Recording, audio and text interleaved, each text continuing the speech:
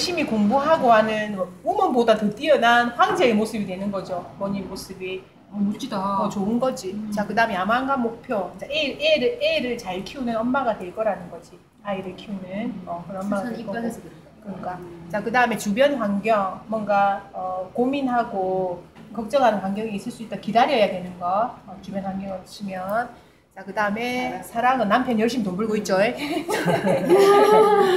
자, 가족은 좋은 환경 속에 있다. 장애는 지금 이제 공부를 계속 해야 된다는 게 장애가 될 수 있는 거지. 이게 몸이 그러니까 장애가 될수 있고. 자, 직업으로는 이제 고민할 수, 선생님이 될 수 있고, 고민할 수 있고, 어, 선생님. 선생님도 될 수 있어. 여자 선생님. 어, 여자들 선생님이야.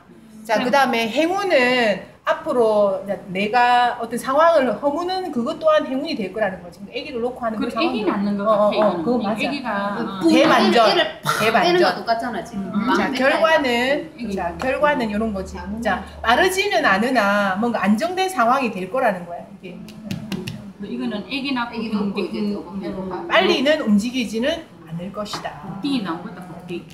자,